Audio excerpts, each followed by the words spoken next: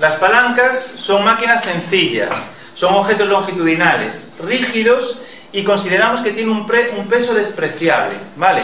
Esto no es real, pero consideramos así para su estudio teórico. A lo largo de la palanca vamos a encontrar tres puntos significativos. El punto de apoyo, el punto donde colocamos la resistencia o el peso que queremos elevar y el punto en donde aplicamos la fuerza para elevar ese peso. ¿De acuerdo?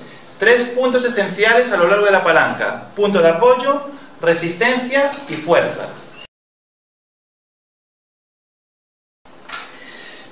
¿Por qué son importantes las palancas? Porque nos permiten elevar grandes pesos utilizando una fuerza relativamente pequeña. ¿Vale? Eso es lo que se conoce con el nombre de ventaja mecánica. Ventaja mecánica es la magnitud por la cual una máquina multiplica la fuerza que nosotros aplicamos. Si yo aplico 10 newtons, una fuerza de 10 newtons, y la máquina al otro extremo eh, es capaz de generar una fuerza de 20 newtons, la ventaja mecánica es de 2. Yo aplico 10, saco 20. Es decir, la fuerza que yo aplico se multiplica por 2. ¿Vale? Ese, ese factor o esa magnitud es lo que llamamos ventaja mecánica. ¿Cómo consigue una palanca multiplicar la fuerza? ¿Es algo mágico? No. Disminuye la fuerza que necesitamos para elevar un peso, pero necesitamos aplicar esa fuerza durante una distancia mayor. Fijaros aquí en el dibujo. La palanca la tenemos colocada como en el dibujo de arriba. Aplicamos una fuerza y fijaros en la flecha azul. Toda la distancia que tiene que recorrer el extremo derecho de la palanca. ¿Lo veis? Cuando la palanca, el extremo derecho de la palanca toca el suelo, fijaros cuánto hemos elevado la, la la resistencia. Hemos movido una distancia muy grande la fuerza y la resistencia se ha elevado una distancia pequeña.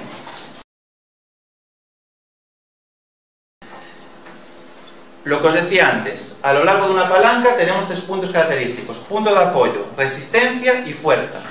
Dependiendo de cómo estén colocados estos tres puntos, vamos a tener tres tipos de palancas. Palanca de tipo 1 o de primer género. El punto de apoyo está en el centro. Es eh, la palanca más habitual.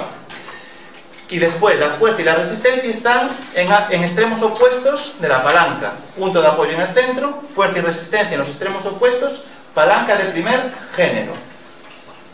Palanca de segundo género. El punto de apoyo ya no está en el centro, ahora está en uno de los extremos. En el extremo opuesto está la fuerza. Y entre el punto de apoyo y la fuerza tenemos la flecha roja que nos indica resistencia. Y, eso, y esto sería palanca de segundo género.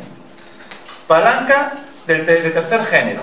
El punto de apoyo sigue estando en un extremo pero en el extremo opuesto ya no está la fuerza, ahora está la resistencia. ¿Dónde está la fuerza? En un punto intermedio entre el punto de apoyo y la resistencia. La flecha verde en el caso 3. ¿Vale? Decíamos que las palancas nos ofrecen una ventaja mecánica, es decir, que multiplican la fuerza. Si yo aplico 10 newtons de fuerza, puedo elevar 20, 30, 40, 50 newtons de peso, ¿verdad? La palanca de tercer género es la excepción que confirma la regla.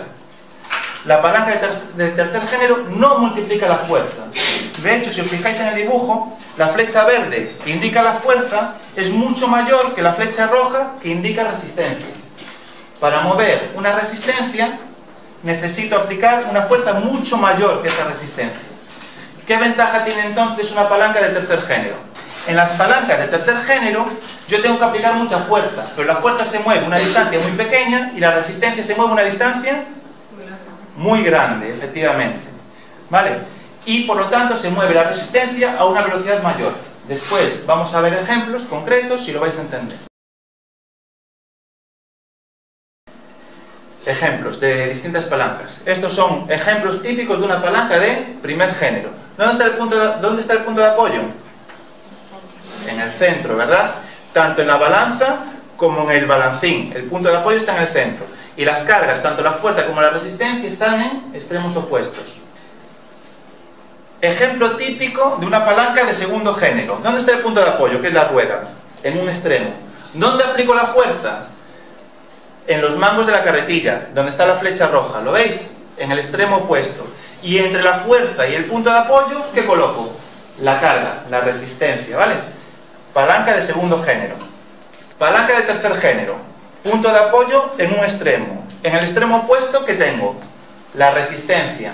¿Dónde aplico la fuerza? En un punto intermedio entre el punto de apoyo y la resistencia. ¿Lo veis? ¿De qué tipo de palanca queréis que es este dibujo?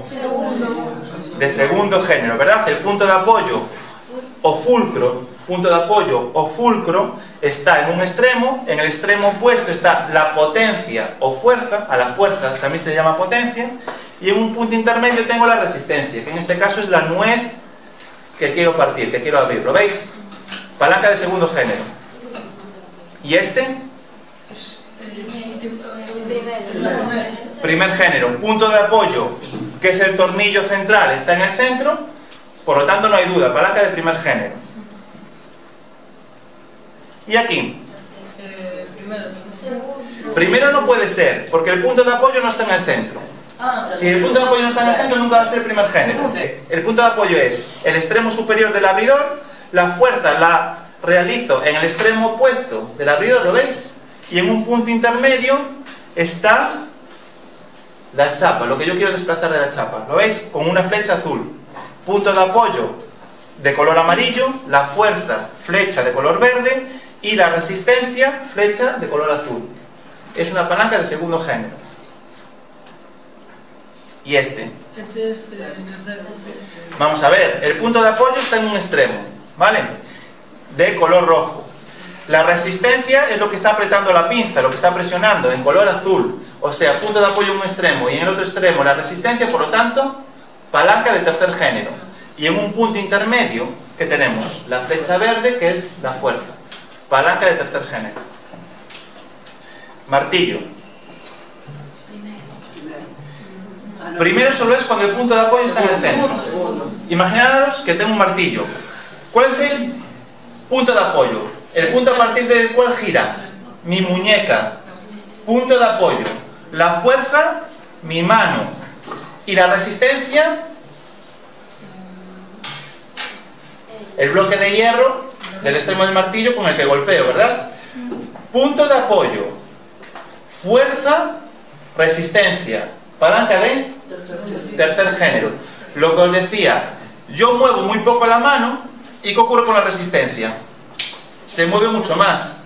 ¿Lo veis? Y a una velocidad mayor. Para golpear eso me beneficia, que sí. Yo muevo muy poco la mano y el martillo hace todo este recorrido.